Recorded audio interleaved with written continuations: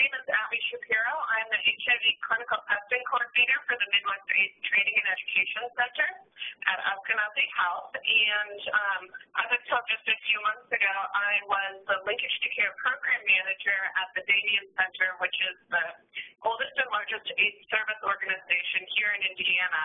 And we're, this webinar is really going to focus on the work that I did um, at the Damien Center. And I have with me Terrell Parker. I am program manager here at Brothers United. Um, we're a community-based organization that focuses specifically on working with the Black LGBT community. Um, prior to becoming a program manager about four months ago, I was a linkage to care specialist for the previous three years. All right. Mary, do you want to advance the slide for us? Sure. Okay. All right. So, yeah, this is, uh, we're going to talk with you through um, linkage to care implementation basics, how to gain community support and engage clients.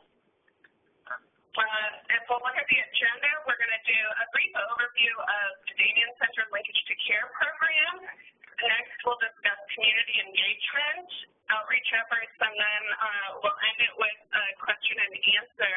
Hopefully, um, the WebEx program is working better for everybody who's here, and um, feel free to, you know, use the chat function and ask questions, and hopefully people from NASTAD will be able to help us uh, kind of navigate the question and answer session, because we're having a rough time on this end. So,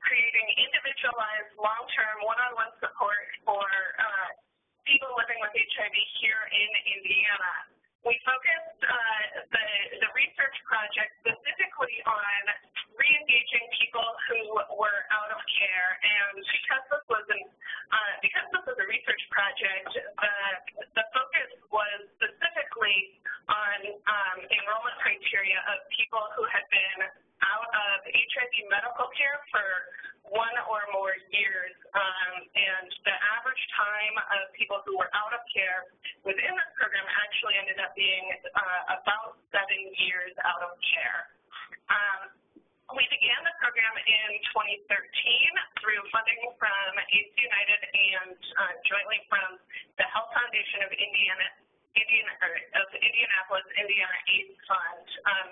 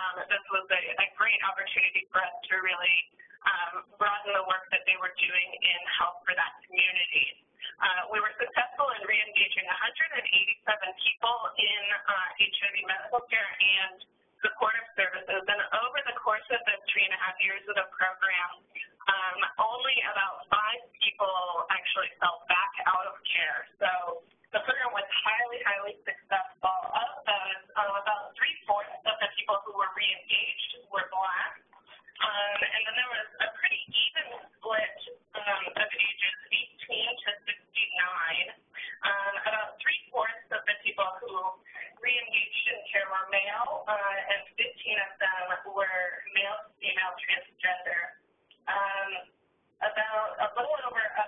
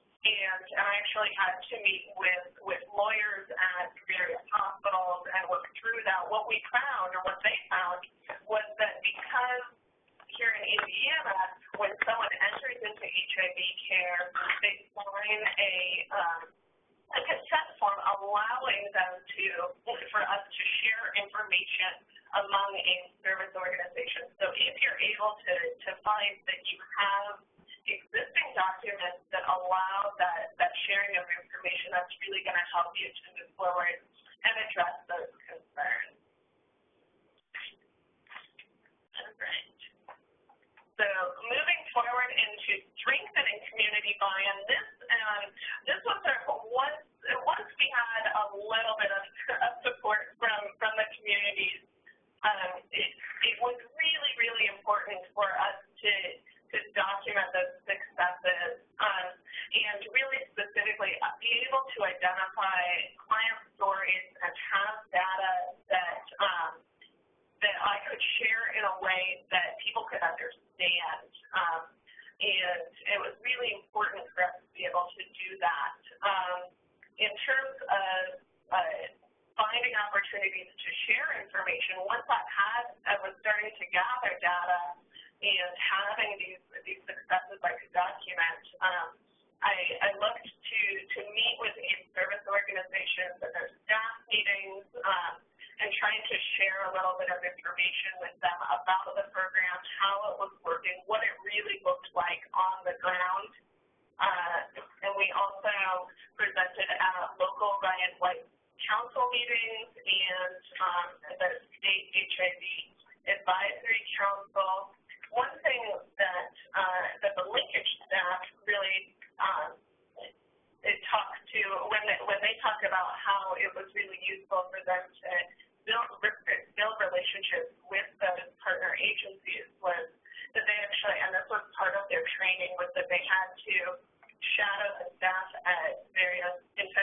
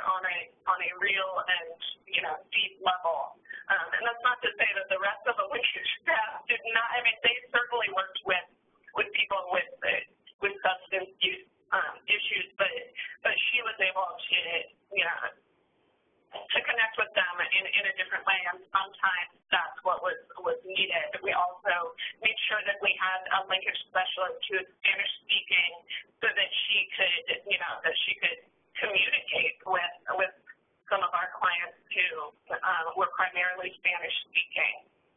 Um, in terms of other ways that we tried to engage the community, we tried to um, make sure that as, far, as much as possible, make sure that that the community knew about the program, and we did some high-level, um, like large-scale advertising on billboards and on bus ads. We used um, like on bus ads. We did in-bus ads. Um, we also did, ran ads in uh, local gay newspapers. There's a number of um, gay nightclubs here that have um, closed-circuit TVs that run, you know, various pictures just on a loop, and we were able to get ads embedded into that. Um, and and then, you know, the local papers also did um, interviews with us and then we also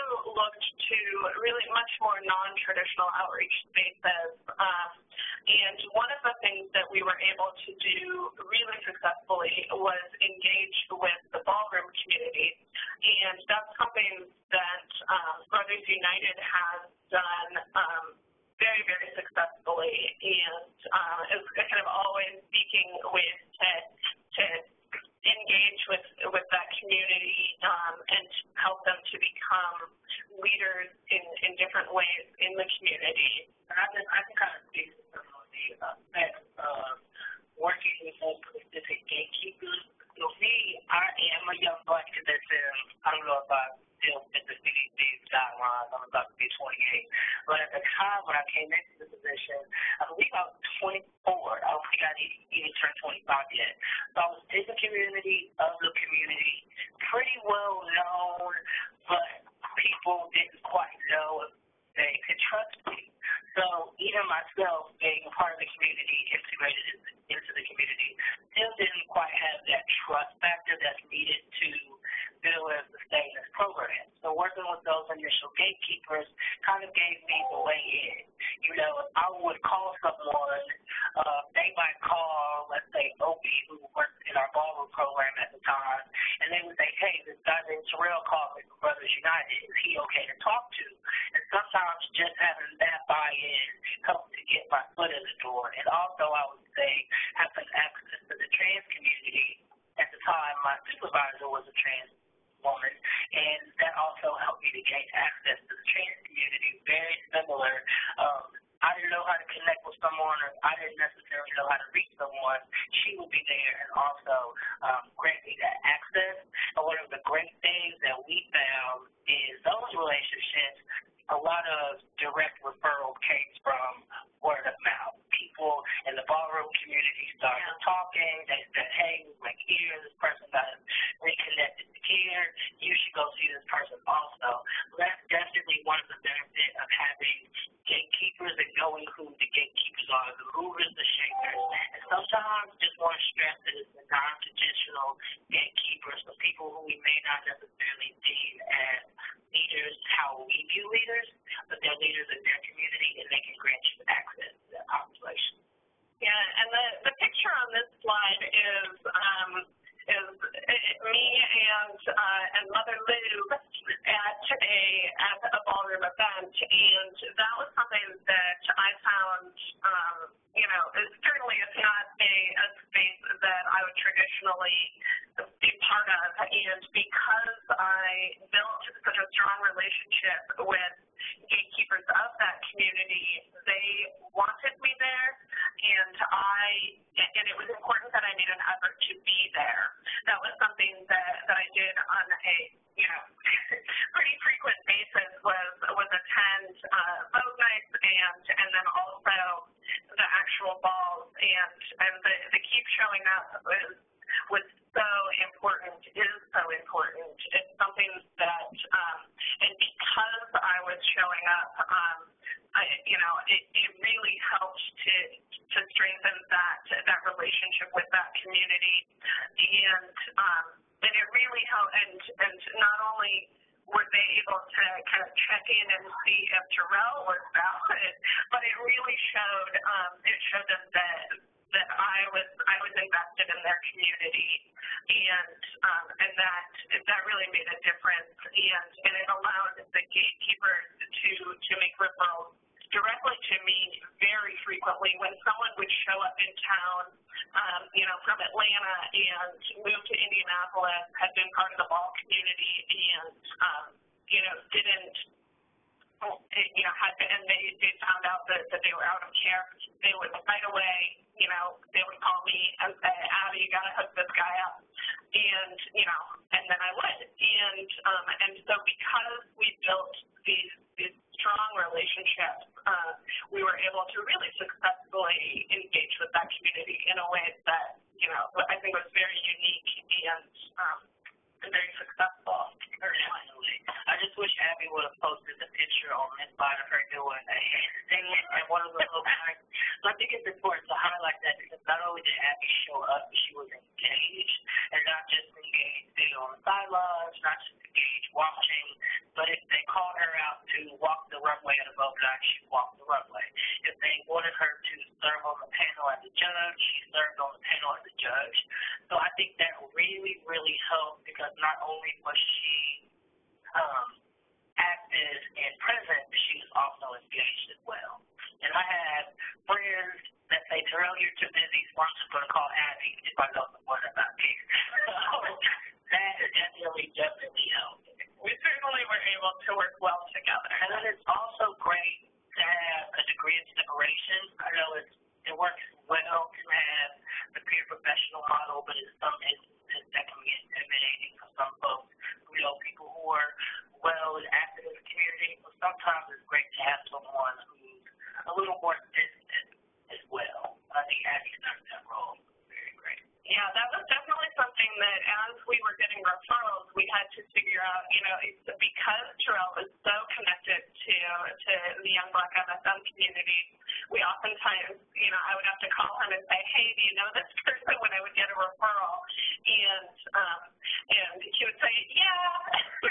and then we'd have to decide whether or not it was a, you know, if it was going to be um, a good relationship for uh, to be able to keep it professional, or if they were too close, um, in a, you know, because of their community partnerships. Um, and and so that's something that is it was really important for us to have a diverse linkage staff so that we could really make sure that the, that each client was getting the right fit person. And we knew that if we got them connected with not only the right linkage specialist, but the right care coordinator and the right nurse practitioner and the right pharmacist, that that was really what was going to help that client engage in care and then stay in care. There's that. so that moves us on to um, talking a little more about how did we engage clients, how do we engage them, and how do we help them to make data in fair. Um, and it, for us, we found that there were, uh, I think, I don't know, connecting with, with potential clients, um, that there were a couple of key things, and uh, um, slide 12 right now, Mary, just in case, we're on slide 12. All right. Yeah, so one of the main things that we looked for when um, trying to figure out what did this program need to look like in order to really successfully engage clients. And, and for us, that really meant, um, I think the linchpin of all of this was to meet clients where they were or where they are. And that means both physically and mentally. Um, one of the things that um, when creating this program, I, it was really, really important to me that um, that when making an initial contact with a client, you're making um, trying to build that initial rapport was that the clients needed to identify where do they want to meet with this stranger, uh, and it, and it could be in their house, it could be in you know in a McDonald's down the street, it could be in a library, it could be you know wherever, but really making sure that the clients were given ownership of um, of just even from that very beginning. And, um, and that's super important because it puts the client in the center. And sometimes clients have had great relationships with our agency. Sometimes clients have had not more favorable relationships with our agency for whatever reason. And sometimes clients just simply are not willing to. So I think it really shows that we're willing to go the extra mile with the client first when we say, hey, we understand you may not have an issue. You may have an issue with our agency. You may just feel uncomfortable because of stigma. We've had a client, for example, her biggest issue was stigma. She was terribly afraid to come to the Damien Center, terribly afraid to come to Brothers United. She didn't want to be seen. These high profile, well known in the community, stigma was the biggest issue. Just meeting her at home two or three times was enough to work through some of those stigma related issues until she felt more comfortable coming to the Damien Center or coming to Brothers United. So that's just an example of why it's very important if you have to be at McDonald's, if you have to be at Starbucks, at a, at a client's home, it really does make an impact on whether or not they want to be engaged in care. But, uh, and that's kind of the, the physical meeting them where they are. And then um, from the, the sort of mental piece of that is um, making sure that they understand that, that you're not there to judge them. Um, and something that I, I tried to make clear to the staff um, was that they didn't need to, that, that although our goal, our ultimate goal of the Linkage to Care Program was to re-engage people in HIV medical care, it didn't mean that that meant tomorrow.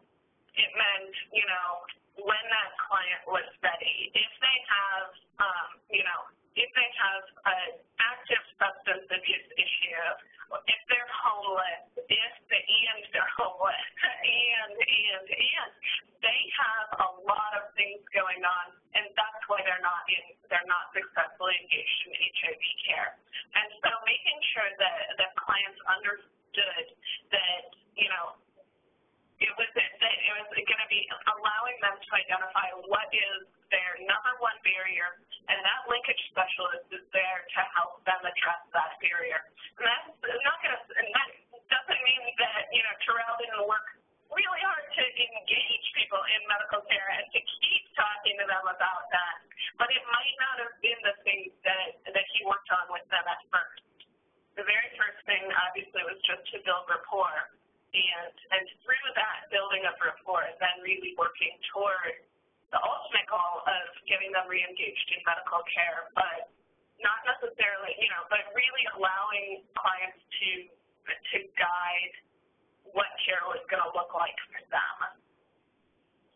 Um, and so a couple of things that kind of go along with that is um, is making sure that you're asking the right questions in the right way at the right time. So maybe there, so, and I think one of the things that, um, you know, the, the linkage specialists talk about time and time again are about some of the, the little things that, like, like grabbing onto little tidbits that, that clients say, and then being able to bring those back um, kind of full circle as the, you know, as the client runs into challenges um, of engaging and then maintaining in care is knowing things about them and being able to, you know, focus, re- help them to refocus um, because they have built this rapport. Right, definitely.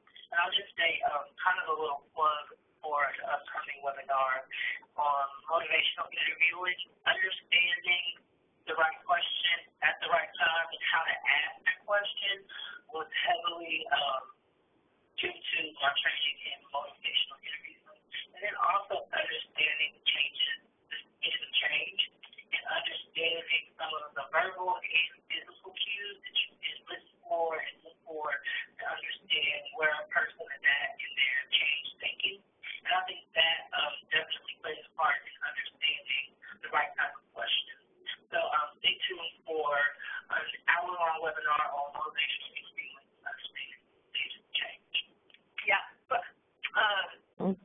plug, Yeah, Terrell. that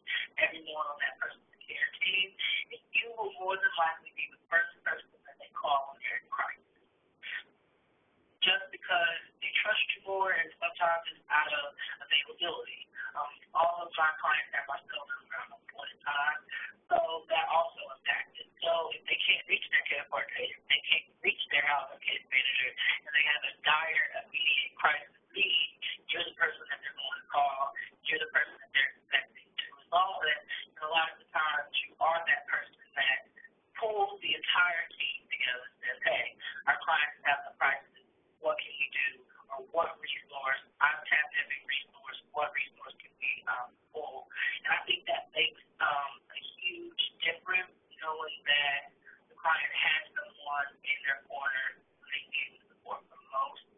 Sometimes they need the support the most outside of traditional work hours. Absolutely.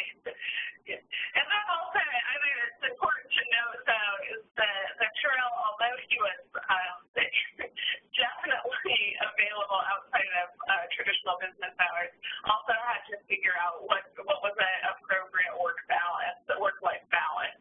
And yeah, and that was something that took time, um, and and I think I think he very successfully learned how to manage that, and uh, I tried to provide as much support as possible with that, but um, there's certainly a learning curve between being available all the time for all your clients and uh, figuring out what yeah, what is an emergency? Because everything is an emergency oftentimes for our clients, but helping them to learn that as well. Um, but for, for most of our clients, it really was like they had never had this level of support.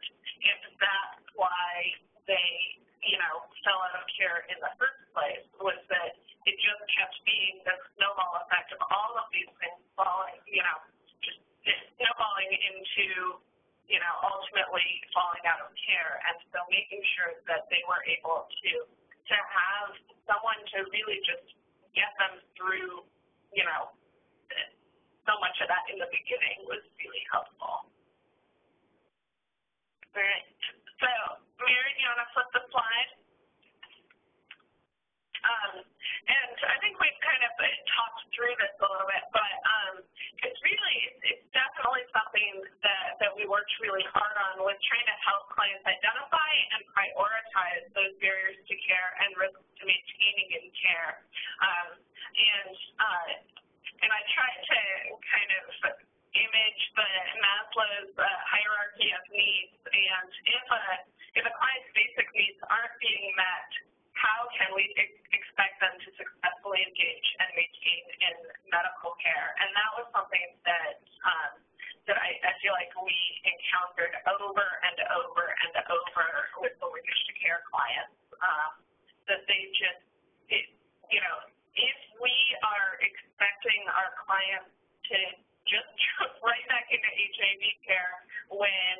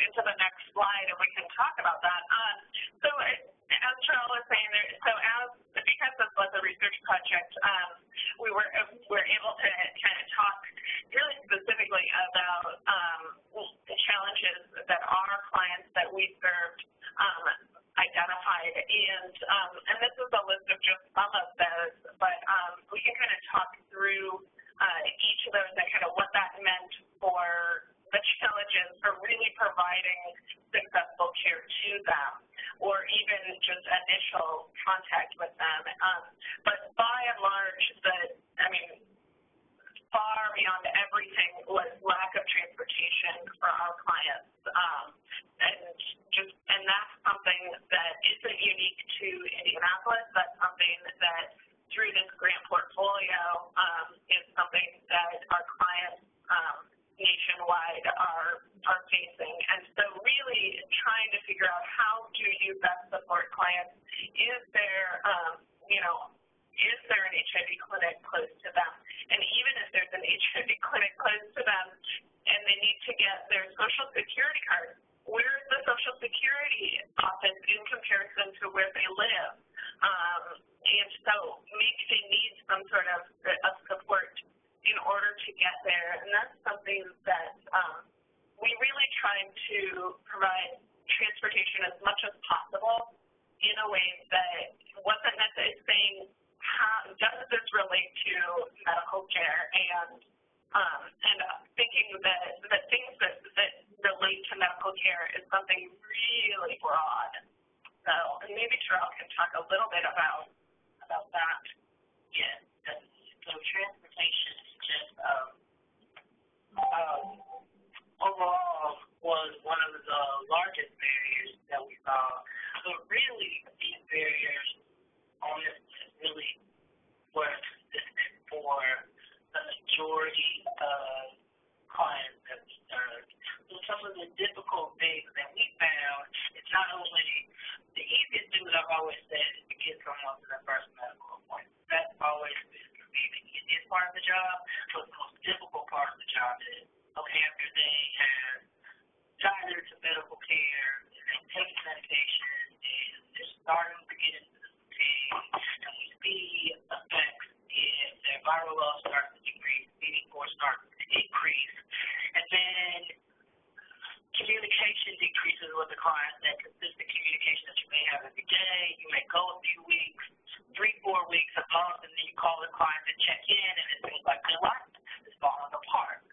And a lot of times their life falling apart because of some of these issues. I had stable housing, but my partner kicked me out, or um, someone shared my HIV status publicly, and now I don't want to take medication anymore.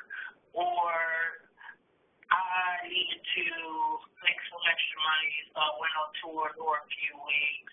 I have gotten arrested while I did some of my sex work, and then I was incarcerated, got back out, and I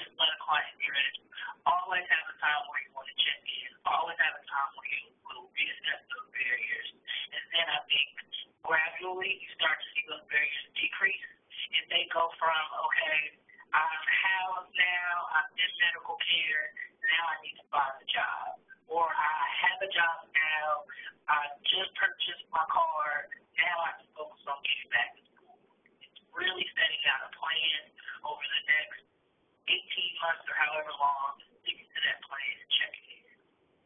And I think it's important to, to note that linkage to care looks really different in different settings. Um, and, and so our program really, I mean, fortunately, we had a, a level of funding that allowed us um, a, a lot of flexibility and, um, and to, to really make, you know, great gains with clients and with the community.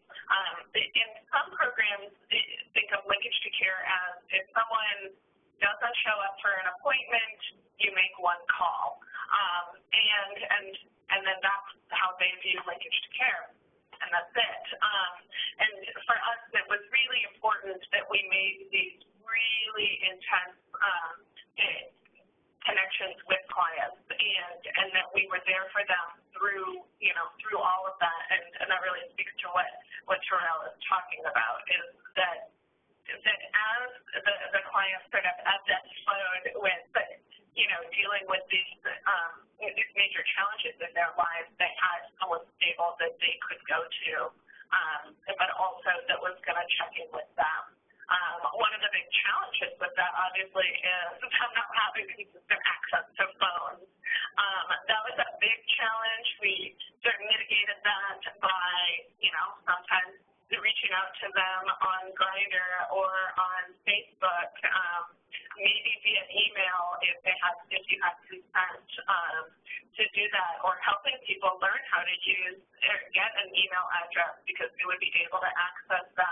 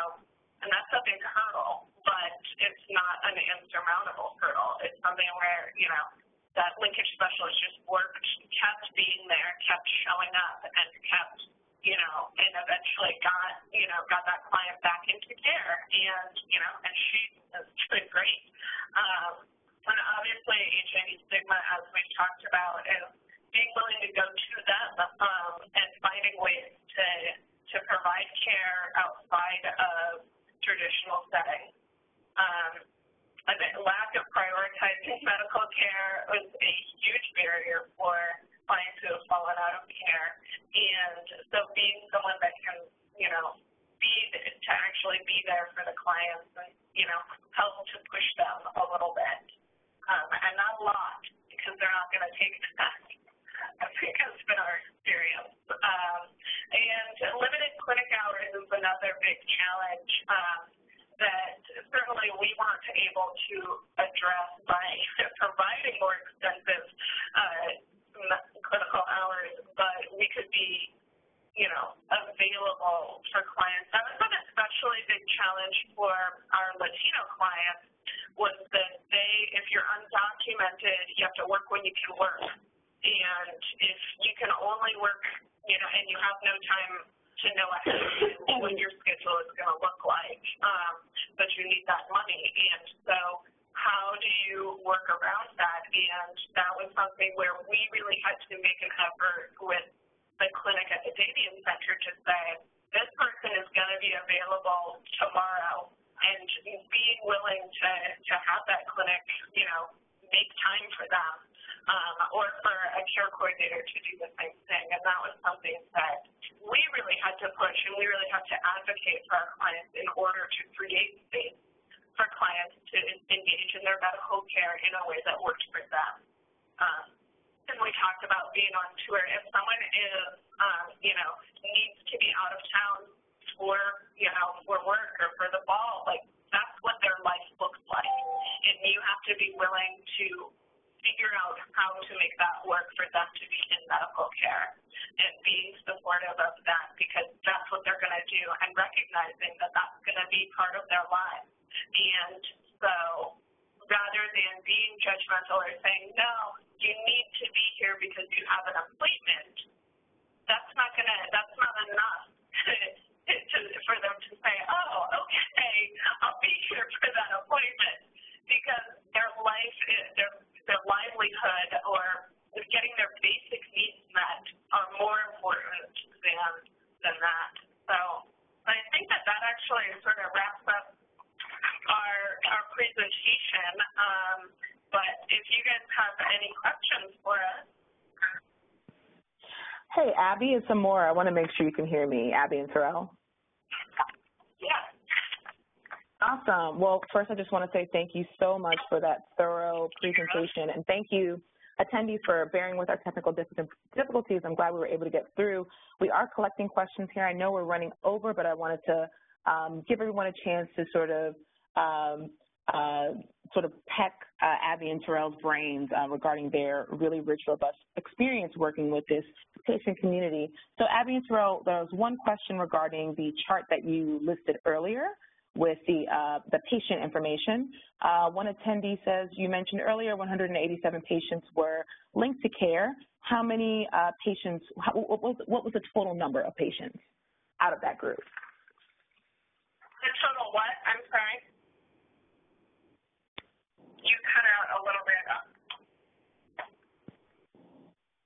Of the 187 people, what? Can you repeat the rest? I have the question for you. So initially, you all presented in your graph earlier that um, 187 individuals were linked to care, but what was the larger bucket? What was the larger number of individuals who were first engaged in the program, and then from there, how, um, we know that 187 individuals were linked to care?